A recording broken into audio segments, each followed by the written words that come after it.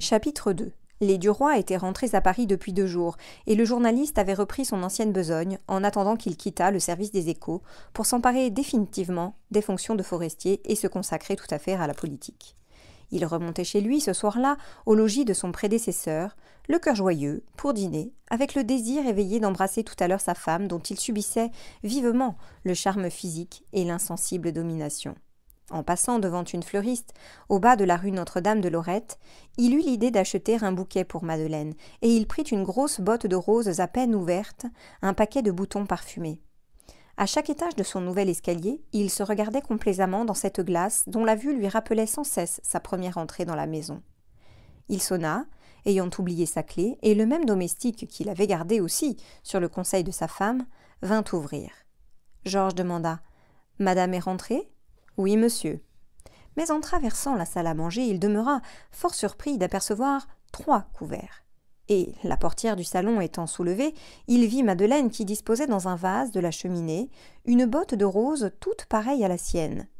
Il fut contrarié, mais content, comme si on lui eût volé son idée, son attention et tout le plaisir qu'il en attendait. Il demanda en entrant Tu as donc invité quelqu'un? Elle répondit sans se retourner, en continuant à arranger ses fleurs. Oui et non. C'est mon vieil ami, le comte de Vaudrec, qui a l'habitude de dîner ici tous les lundis, et qui vient comme autrefois. Georges murmura. Ah, très bien. Il restait debout derrière elle, son bouquet à la main, avec une envie de le cacher, de le jeter. Il dit cependant Tiens, je t'ai apporté des roses. Elle se retourna brusquement, toute souriante, criant Oh, que tu es gentil d'avoir pensé à ça et elle lui tendit ses bras et ses lèvres avec un élan de plaisir si vrai qu'il se sentit consolé.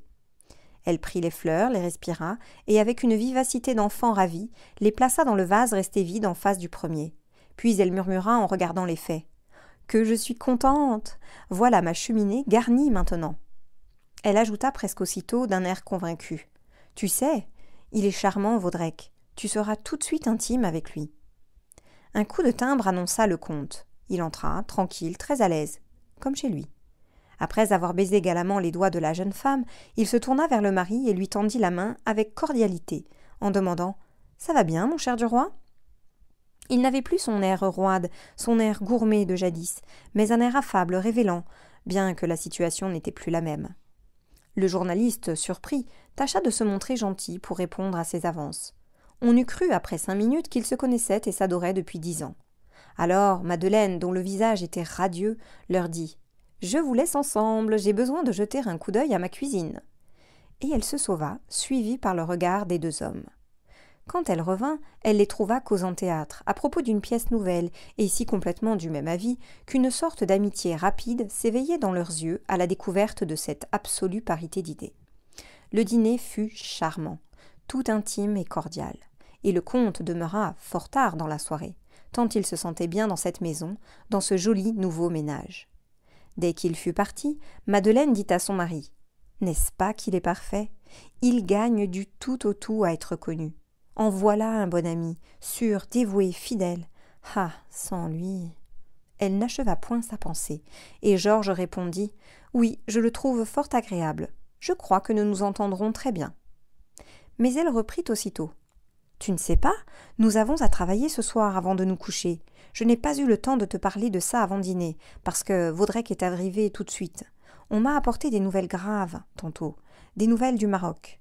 C'est Laroche Mathieu, le député, le futur ministre, qui me les a données. Il faut que nous en fassions un grand article, un article à sensation. J'ai des faits et des chiffres. Nous allons nous mettre à la besogne, immédiatement. Tiens, prends la lampe. Il la prit et ils passèrent dans le cabinet de travail. Les mêmes livres s'alignaient dans la bibliothèque qui portait maintenant sur son fait les trois vases achetés au golfe Juan par Forestier la veille de son dernier jour. Sous la table, la chancelière du mort attendait les pieds de Duroy, qui s'empara, après s'être assis, du porte-plume d'ivoire, un peu mâché au bout par la dent de l'autre. Madeleine s'appuya à la cheminée et, ayant allumé une cigarette, elle raconta ses nouvelles, puis exposa ses idées et le plan de l'article qu'elle rêvait. Il l'écoutait avec attention, tout en griffonnant des notes, et quand il eut fini, il souleva des objections, reprit la question, la grandit, développa à son tour non plus un plan d'article, mais un plan de campagne contre le ministère actuel. Cette attaque serait le début. Sa femme avait cessé de fumer, tant son intérêt s'éveillait, tant elle voyait large et loin en suivant la pensée de Georges. Elle murmurait de temps en temps Oui, oui, oui, c'est très bon, c'est excellent, ah, c'est très fort. Et quand il eut achevé à son tour de parler Maintenant, écrivons, dit-elle. Mais il avait toujours le début difficile, et il cherchait ses mots avec peine. Alors elle vint doucement se pencher sur son épaule, et elle se mit à lui souffler ses phrases tout bas dans l'oreille. De temps en temps, elle hésitait et demandait Est-ce bien ça que tu veux dire? Il répondait Oui, parfaitement. Elle avait des traits piquants, des traits venimeux de femme pour blesser le chef du conseil, et elle mêlait des railleries sur son visage à celles sur sa politique, d'une façon drôle qui faisait rire et saisissait en même temps par la justesse de l'observation. Du roi, parfois, ajoutait quelques lignes qui rendaient plus profonde et plus puissante la portée d'une attaque. Il savait en outre l'art des sous-entendus perfides qu'il avait appris en aiguisant ses échos et quand un fait donné pour certains par Madeleine lui paraissait douteux ou compromettant, il excellait à le faire deviner et à l'imposer à l'esprit avec plus de force que s'il l'eût affirmé. Quand leur article fut terminé, Georges le relut tout haut en le déclamant. Ils le jugèrent admirable d'un commun accord, et ils se souriaient, enchantés et surpris, comme s'ils venaient de se révéler l'un à l'autre. Ils se regardaient au fond des yeux, émus d'admiration et d'attendrissement et ils s'embrassèrent avec élan, avec une ardeur d'amour communiquée de leurs esprits à leur corps. Roi reprit la lampe. Et maintenant, dodo, dit-il avec un regard allumé. Elle répondit. Passez, mon maître, puisque vous éclairez la route. Il passa, et elle le suivit dans leur chambre en lui chatouillant le cou du bout du doigt, entre le col et les cheveux, pour le faire aller plus vite, car il redoutait cette caresse. L'article parut sous la signature de Georges, du roi de Cantel, et fit grand bruit on s'en émut à la Chambre. Le père Walter en félicita l'auteur et le chargea de la rédaction politique de la vie française. Les échos revinrent à Boisrenard. Alors commença dans le journal une campagne habile et violente contre le ministère qui dirigeait les affaires. L'attaque toujours à droite et nourrie de faits, tantôt ironiques, tantôt sérieuses, parfois plaisantes, parfois virulentes, frappait avec une sûreté et une continuité dont tout le monde s'étonnait. Les autres feuilles citaient sans cesse la vie française, y coupaient des passages entiers, et les hommes du pouvoir s'informèrent si on ne pouvait pas bâillonner, avec une préfecture, cet ennemi inconnu et acharné. Du roi devenait célèbre dans les groupes politiques. Il sentait grandir son influence à la pression des poignées de main et à l'allure des coups de chapeau. Sa femme d'ailleurs l'emplissait de stupeur et d'admiration par l'ingéniosité de son esprit, l'habileté de ses informations et le nombre de ses connaissances. À tout moment, il trouvait dans son salon, en rentrant chez lui, un sénateur, un député, un magistrat, un général, qui traitait avec Madeleine en vieille amie, avec une familiarité sérieuse. Où avait-elle connu tous ces gens? Dans le monde, disait-elle. Mais comment avait-elle su capter leur confiance et leur affection? Il ne le comprenait pas. Ça ferait une rude diplomate, pensait-il. Elle rentrait souvent en retard aux heures des repas, essoufflée, rouge, frémissante, et avant même d'avoir ôté son voile, elle disait J'en ai du nan aujourd'hui. Figure-toi que le ministre de la Justice vient de nommer deux magistrats qui ont fait partie des commissions mixtes. Nous allons lui flanquer un abattage dont il se souviendra. Et on flanquait un abattage au ministère. Et on lui en reflanquait un autre le lendemain, et un troisième le jour suivant. Le député Laroche-Mathieu, qui dînait rue Fontaine tous les mardis, après le comte de Vaudrec qui commençait la semaine, serrait vigoureusement les mains de la femme et du mari, avec des démonstrations de joie excessives. Il ne cessait de répéter Christi, quelle campagne Si nous ne réussissons pas après ça Il espérait bien réussir en effet à décrocher le portefeuille des affaires étrangères, qu'il visait depuis longtemps.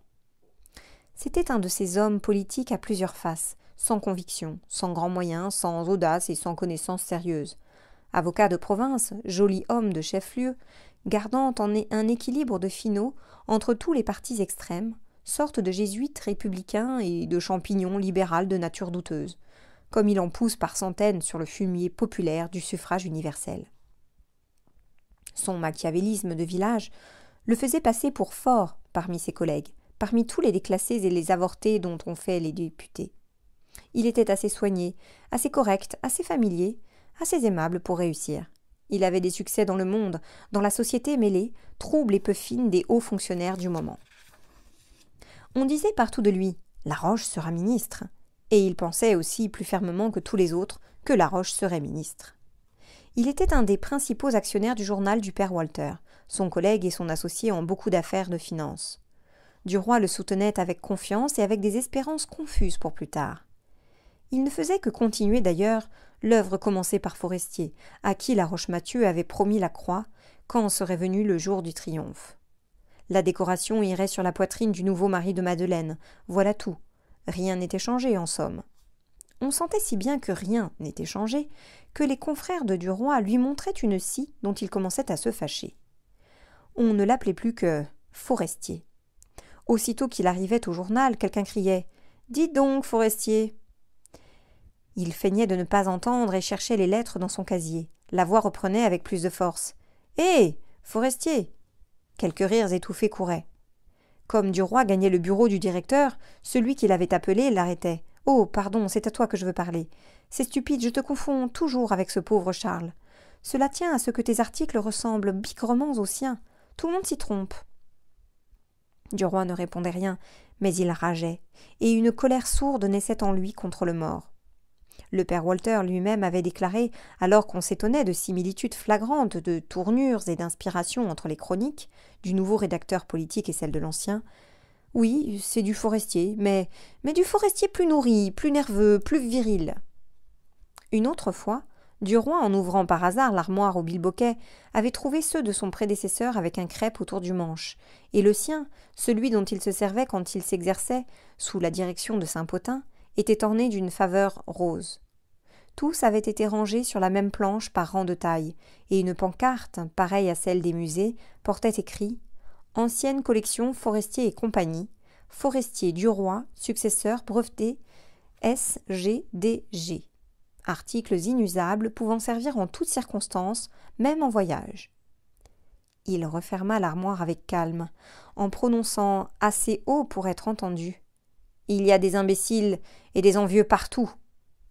Mais il était blessé dans son orgueil, blessé dans sa vanité, cette vanité et cet orgueil ombrageux d'écrivain qui produisent cette susceptibilité nerveuse, toujours en éveil, égale chez le reporter et chez le poète génial. Ce mot, forestier, déchirait son oreille. Il avait peur de l'entendre et se sentait rougir en l'entendant. Il était pour lui, ce nom, une raillerie mordante, plus qu'une raillerie, c'est presque une insulte. Il lui criait C'est ta femme qui a fait ta besogne comme elle faisait celle de l'autre, tu ne serais rien sans elle. Il admettait parfaitement que Forestier n'eût rien été sans Madeleine. Mais quant à lui, allons donc. Puis, rentré chez lui, l'obsession continuait. C'était la maison tout entière maintenant qui lui rappelait le mort, tout le mobilier, tous les bibelots, tout ce qu'il touchait. Il ne pensait guère à cela dans les premiers temps. Mais la scie montée par ses confrères avait fait en son esprit une sorte de plaie qu'un tas de riens inaperçus jusqu'ici envenimaient à présent. Il ne pouvait plus prendre un objet sans qu'il crût voir aussitôt la main de Charles posée dessus. Il ne regardait et ne maniait que des choses lui ayant servi autrefois, des choses qu'il avait achetées, aimées et possédées. Et Georges commençait à s'irriter même à la pensée des relations anciennes de son ami et de sa femme. Il s'étonnait parfois de cette révolte de son cœur, qu'il ne comprenait point, et se demandait Comment diable cela se fait-il? Je ne suis pas jaloux des amis de Madeleine. Je ne m'inquiète jamais de ce qu'elle fait. Elle rentre et sort à son gré, et le souvenir de cette brute de Charles me met en rage. Il ajoutait mentalement Au fond, ce n'était qu'un crétin. C'est sans doute ça qui me blesse. Je me fâche que Madeleine ait pu épouser un pareil sot. Et sans cesse il se répétait Comment se fait-il que cette femme-là ait gobé un seul instant un semblable animal? Et sa rancune s'augmentait chaque jour par mille détails insignifiants qui le piquaient comme des coups d'aiguille par le rappel incessant de l'autre, venu d'un mot de Madeleine, d'un mot du domestique ou d'un mot de la femme de chambre. Un soir, du roi qui aimait les plats sucrés demanda Pourquoi n'avons-nous pas d'entremets? Tu n'en fais jamais servir? La jeune femme répondit gaiement c'est vrai, je n'y pense pas. Cela tient à ce que Charles les avait en horreur. Il lui coupa la parole dans un mouvement d'impatience dont il ne fut pas maître. Ah Tu sais, Charles commence à m'embêter, hein. C'est toujours Charles par-ci, Charles par-là, Charles aimait ci, Charles aimait ça. Puisque Charles est crevé, qu'on le laisse tranquille. Madeleine regardait son mari avec stupeur, sans rien comprendre à cette colère subite. Puis, comme elle était fine, elle devina un peu ce qui se passait en lui, ce travail lent de jalousie posthume grandissant à chaque seconde par tout ce qui lui rappelait l'autre. Elle jugea cela puéril, peut-être, mais elle fut flattée et ne répondit rien. Il s'en voulut, lui, de cette irritation qu'il n'avait pu cacher. Or, comme il faisait, ce soir-là, après dîner, un article pour le lendemain, il s'embarrassa dans la chancelière. Ne parvenant point à la retourner, il la rejeta d'un coup de pied et demanda en riant. Charles avait donc toujours froid aux pattes? Elle répondit, riant aussi. Oh. Il vivait dans la terreur des rhumes. Il n'avait pas la poitrine solide. Duroy reprit avec férocité. Il l'a bien prouvé d'ailleurs. Puis il l'ajouta avec galanterie. Heureusement pour moi. Et il baisa la main de sa femme. Mais en se couchant, toujours hanté par la même pensée, il demanda encore. Est-ce que Charles portait des bonnets de coton pour éviter les courants d'air dans les oreilles? Elle se prêta à la plaisanterie et répondit. Non, un madras noué sur le front. Georges haussa les épaules et prononça avec un mépris supérieur. Quel serein. Dès lors, Charles devint pour lui un sujet d'entretien continuel. Il parlait de lui à tout propos, ne l'appelant plus que ce pauvre Charles, d'un air de pitié infinie. Et quand il revenait du journal, où il s'était entendu deux ou trois fois interpellé sous le nom de forestier, il se vengeait en poursuivant le mort de railleries haineuses au fond de son tombeau. Il rappelait ses défauts, ses ridicules, ses petitesses, les énumérait avec complaisance, les enveloppant et les grossissant comme s'il eût voulu combattre, dans le cœur de sa femme, l'influence d'un rival redouté. Il répétait Dis donc, Mad, te rappelles-tu le jour où ce cornichon de forestier a prétendu nous prouver que les gros hommes étaient plus vigoureux que les maigres? Puis il voulut savoir sur le défunt un tas de détails intimes et secrets que la jeune femme, mal à l'aise, refusait de dire. Mais il insistait, s'obstinait, Allons, voyons. Raconte-moi ça. Ça devait être bien drôle dans ce moment-là. Elle murmurait du bout des lèvres. Voyons, laisse-le tranquille à la fin. Il reprenait. Non, dis-moi. C'est vrai qu'il devait être gaudiche au lit, cet animal. Et il finissait toujours par conclure. Quelle brute c'était. Un soir, vers la fin de juin, comme il fumait une cigarette à sa fenêtre, la grande chaleur de la soirée lui donna l'envie de faire une promenade. Il demanda Ma petite Mad, veux-tu venir jusqu'au bois? Mais oui, certainement. Ils prirent un fiacre découvert, gagnèrent les Champs-Élysées, puis l'avenue du bois de Boulogne. C'était une nuit sans vent, une de ces nuits d'étuve où l'air de Paris surchauffé entre dans la poitrine comme une vapeur de four. Une armée de fiacres menait sous les arbres tout un peuple d'amoureux. Ils allaient, ces fiacres, l'un derrière l'autre, sans cesse. Georges et Madeleine s'amusaient à regarder tous ces couples enlacés passant dans ces voitures, la femme en robe claire et l'homme sombre. C'était un immense fleuve d'amants qui coulait vers le bois, sous le ciel étoilé et brûlant. On n'entendait aucun bruit, que le sourd roulement des roues sur la terre. Ils passaient, passaient, les deux êtres de chaque fiacre, allongés sur les coussins, muets, serrés l'un contre l'autre, perdus dans l'hallucination du désir, frémissant dans l'attente de l'étreinte prochaine. L'ombre chaude semblait pleine de baisers. Une sensation de tendresse flottante, d'amour bestial et pendu, alourdissait l'air, le rendait plus étouffant. Tous ces gens accouplés, grisés de la même pensée, de la même ardeur, faisaient courir une fièvre autour d'eux. Toutes ces voitures, chargées d'amour, sur qui semblaient voltiger des caresses, jetaient sur leur passage une sorte de souffle sensuel, subtil et troublant. Georges et Madeleine se sentirent eux-mêmes gagnés par la contagion de la tendresse. Ils se prirent doucement la main, sans dire un mot, un peu oppressés par la pesanteur de l'atmosphère et par l'émotion qui les envahissait. Comme ils arrivaient au tournant qui suit les fortifications, ils s'embrassèrent, et elle balbutia un peu confuse. Nous sommes aussi gamins qu'en allant à Rouen. Le grand courant des voitures s'était séparé à l'entrée des taillis. Dans le chemin des lacs que suivaient les jeunes gens, les fiacres s'espaçaient un peu, mais la nuit épaisse des arbres, l'air vivifié par les feuilles et par l'humidité des ruisselets qu'on entendait couler sous les branches, une sorte de fraîcheur du large espace nocturne, tout paré d'astres, donnait au baiser des couples roulants un charme plus pénétrant et une ombre plus mystérieuse. Georges murmura Oh, ma petite Mad en la serrant contre lui. Elle lui dit te rappelles-tu la forêt de chez toi, comme c'était sinistre? Il me semblait qu'elle était pleine de bêtes affreuses et qu'elle n'avait pas de bout. Tandis qu'ici, c'est charmant. On sent des caresses dans le vent, et je sais bien que Sèvres est de l'autre côté du bois. Il répondit. Oh, dans la forêt de chez moi, il n'y avait pas autre chose que des cerfs, des renards, des chevreuils et des sangliers. Par-ci, par-là, une maison de forestier. Ce mot, ce nom du mort, sorti de sa bouche, le surprit comme si quelqu'un le lui eût crié du fond d'un fourré, et il se tut brusquement, ressaisi par ce malaise étrange et persistant, par cette irritation jalouse, rongeuse, invincible qui lui gâtait la vie depuis quelque temps. Au bout d'une minute, il demanda Es-tu venu quelquefois ici, comme ça, le soir avec Charles? Elle répondit Mais oui, souvent. Et tout à coup, il eut envie de retourner chez eux, une envie nerveuse qui lui serrait le cœur. Mais l'image de Forestier était rentrée dans son esprit, le possédait, l'étreignait. Il ne pouvait plus penser qu'à lui, parler de lui. Il demanda avec un accent méchant. Dis donc, Mad. Quoi, mon ami? L'as-tu fait cocu, ce pauvre Charles Elle murmura dédaigneuse. Que tu deviens bête avec ta rengaine. Mais il ne lâchait pas son idée. Voyons, ma petite Mad, sois bien franche, avoue-le. Tu l'as fait cocu, dis. Avoue que tu l'as fait cocu. Elle se taisait, choquée comme toutes les femmes le sont par ce mot. Il reprit, obstiné. Sacristi. Si quelqu'un en avait la tête, c'est bien lui, par exemple. Oh oui, oh oui. C'est ça qui m'amuserait de savoir que Forestier était cocu, hein. Quelle bonne binette de Jobard. Il sentit qu'elle souriait à quelques souvenirs peut-être, et il insista. Voyons, dis-le. Qu'est-ce que ça fait? Ce serait bien drôle, au contraire, de m'avouer que tu l'as trompé, de m'avouer ça à moi. Il frémissait, en effet, de l'espoir et de l'envie que Charles, l'odieux Charles, le mort détesté, le mort exécré, eût porté ce ridicule honteux. Et pourtant, pourtant, une autre émotion, plus confuse, aiguillonnait son désir de savoir.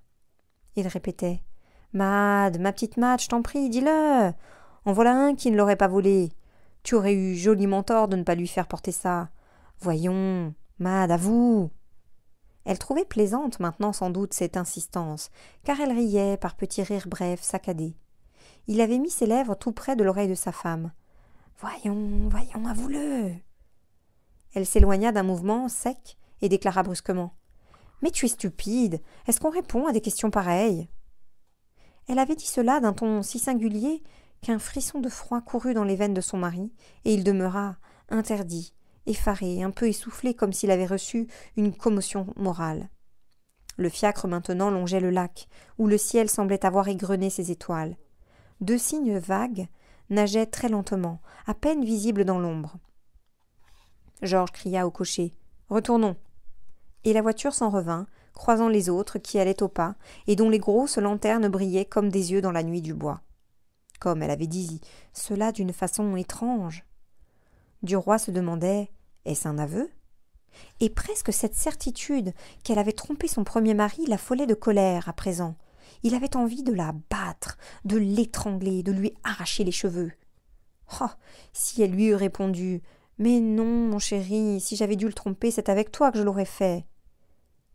Comme il l'aurait embrassée, étreinte, adorée. Il demeurait immobile, les bras croisés, les yeux au ciel, l'esprit trop agité pour réfléchir encore. Il sentait seulement en lui fermenter cette rancune et grossir cette colère qui couve au cœur de tous les mâles devant les caprices du désir féminin. Il sentait pour la première fois cette angoisse confuse de l'époux qui soupçonne. Il était jaloux enfin, jaloux pour le mort, jaloux pour le comte de Forestier, jaloux d'une étrange et poignante façon où entrait subitement de la haine contre Madeleine. Puisqu'elle avait trompé l'autre, comment pourrait-il avoir confiance en elle, lui? Puis, peu à peu, une espèce de calme se fit en son esprit, et se raidissant contre sa souffrance, il pensa Toutes les femmes sont des filles, il faut s'en servir et ne rien leur donner de soi. L'amertume de son cœur lui montait aux lèvres, en paroles de mépris et de dégoût. Il ne les laissa point s'épandre cependant. Il se répétait Le monde est au fort, il faut être fort, il faut être au-dessus de tout. La voiture allait plus vite. Elle repassa les fortifications. Du roi regardait devant lui une clarté rougeâtre dans le ciel, pareille à une lueur de forge démesurée. Et il entendait une rumeur confuse, immense, continue, faite de bruits innombrables et différents, une rumeur sourde, proche, lointaine, une vague et énorme palpitation de vie. le souffle de Paris respirant, dans cette nuit d'été, comme un colosse épuisé de fatigue. Georges songeait. Je serais bien bête de me faire de la bile. Chacun pour soi. La victoire est aux audacieux. Tout n'est que de l'égoïsme. L'égoïsme pour l'ambition et la fortune vaut mieux que l'égoïsme pour la femme et pour l'amour. L'arc de triomphe de l'étoile apparaissait debout à l'entrée de la ville et sur ses deux jambes monstrueuses, sorte de géant informe qui semblait prêt à se mettre en marche pour descendre la large avenue ouverte devant lui. Georges et Madeleine se retrouvaient là dans le défilé des voitures ramenant au logis, au lit désiré, l'éternel couple silencieux et enlacé. Il semblait que l'humanité tout entière glissait à côté d'eux, grise de joie, de plaisir, de bonheur. La jeune femme, qui avait bien pressenti quelque chose de ce qui se passait en son mari, demanda de sa voix douce. À quoi songes-tu, mon ami? Depuis une demi-heure tu n'as point prononcé une parole. Il répondit en ricanant. je songe à tous ces imbéciles qui s'embrassent, et je me dis que vraiment on a autre chose à faire dans l'existence. Elle murmura. Oui, mais c'est bon quelquefois. C'est bon, c'est bon, quand on n'a rien de mieux. La pensée de Georges allait toujours, dévêtant la vie de sa robe de poésie dans une sorte de rage méchante. Je serais bien bête de me gêner, de me priver de quoi que ce soit, de me troubler, de me tracasser, de me ronger l'âme, comme je le fais depuis quelque temps. L'image de Forestier lui traversa l'esprit sans y faire naître aucune irritation. Il lui sembla qu'il venait de se réconcilier, qu'ils redevenaient amis. Il avait envie de lui crier Bonsoir, vieux. Madeleine, que ce silence gênait, demanda Si nous allions prendre une glace chez Tortoni avant de rentrer? Il la regarda de coin. Son fin profil blond lui apparut sous l'éclat vif d'une guirlande de gaz qui annonçait un café chantant. Il pensa Elle est jolie. Eh, tant mieux. Ah, bon chat, bon rat, ma camarade. Mais si on me reprend à me tourmenter pour toi, il fera chaud au pôle Nord. Puis il répondit Mais certainement, ma chérie et pour qu'elle ne devinât rien, il l'embrassa. Il sembla à la jeune femme que les lèvres de son mari étaient glacées. Il souriait cependant de son sourire ordinaire en lui donnant la main pour descendre devant les marches du café.